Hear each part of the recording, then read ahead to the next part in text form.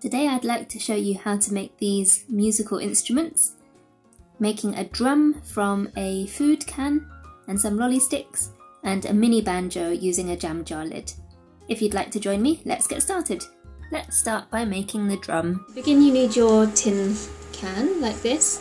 Um, it could be any other um, household object. You could use a yogurt pot or you could cut down uh, an old plastic bottle as well. Um, if you are going to use a tin can, please be very careful and uh, work with an adult because this bit at the top can be very, very sharp and I don't want you to cut yourselves. So you can wash, wash this or ask an adult to wash it for you carefully and then you have your tin can. The next thing we need to do is to make the top of the drum and for this I'm going to use a balloon. So if you have any balloons at home from for a birthday party or something, you can choose whatever colour you like. I've got a pink one. And with some scissors, you're going to cut just here where it gets wider. I'm going to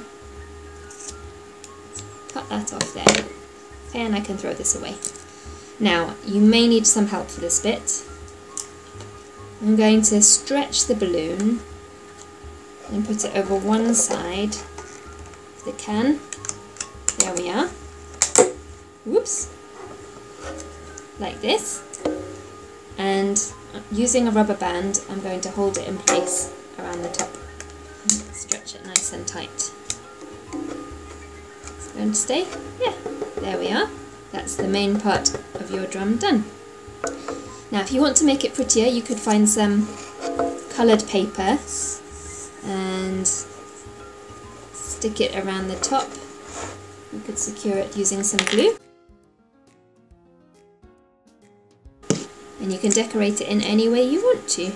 You could use, I have some sparkly string as well, if you wanted to tie some string on, or any other stickers or paper. So, that's the main drum, done quick and easy. Now to make the beaters, I use some old lolly sticks from an ice cream and a piece of plasticine or Blu Tack, white tack. And just take it and roll, roll the plasticine into two balls. One, two, and I'm going to put the sticks in. There, there's one beater. and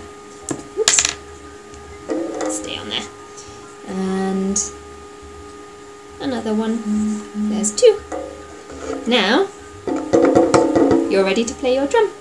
And you could use this whenever you sing nursery rhymes or songs, or when we sing together at circle time.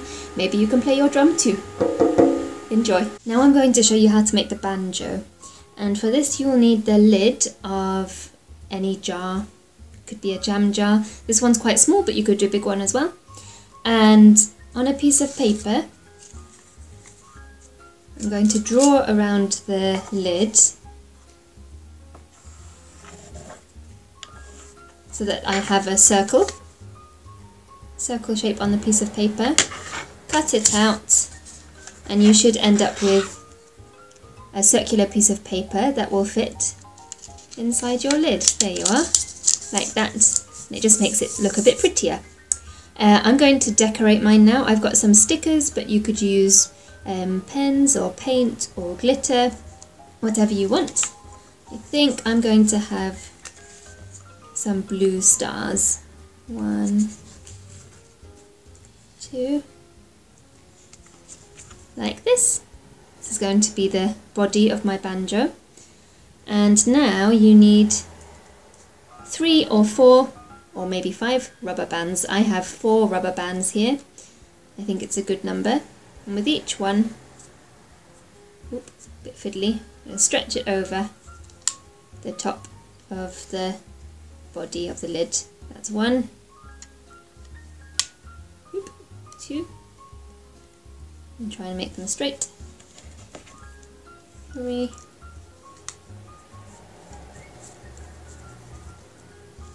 and your last string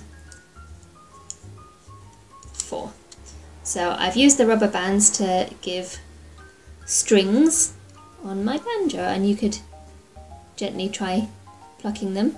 Can you hear?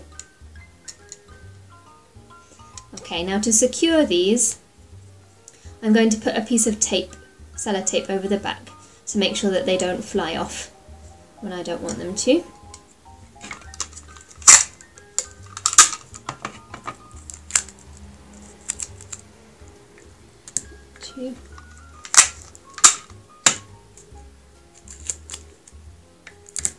There we are, that should be nice and secure now so that the strings stay in place. Now to make the fingerboard, uh, I've got two small lolly sticks which I taped together here, but if you've got a big lolly stick or even just a piece of cardboard would do. And I'm going to stick it onto the back of the lid so that I've got the board for a banjo that looks like this. So I'm going to put this here and take my sellotape again. A couple of pieces to make sure it's nice and secure.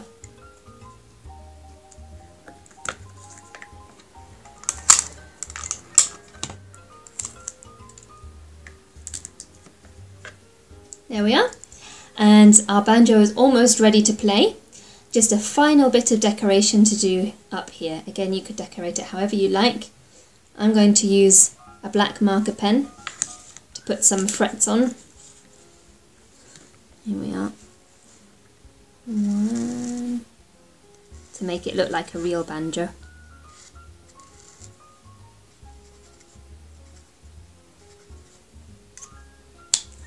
There we are. So now you have your mini banjo that you can play when you're singing along to some songs maybe. And you have a drum that you can also have fun playing with. Maybe you could start your own family band or see what other instruments you can make from things that you have at home. Enjoy making your musical instruments and enjoy playing with them afterwards. Bye!